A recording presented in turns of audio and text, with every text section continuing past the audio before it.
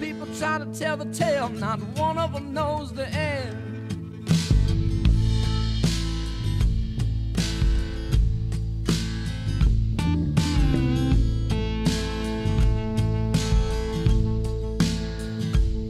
It was a junk house in South Carolina, held a boy the age of ten.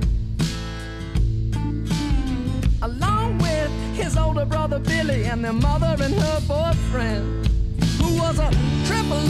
some blue tattoos that were given to him when he was young, and a drunk temper that was easy to lose. But thank God he didn't own a gun.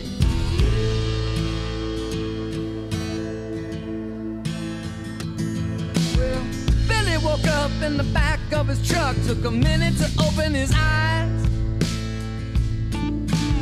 He took a peep into the back of the house and found himself a big surprise. With a red-headed head in her hands. While the boyfriend had his gloves wrapped around an old priest trying to choke the man.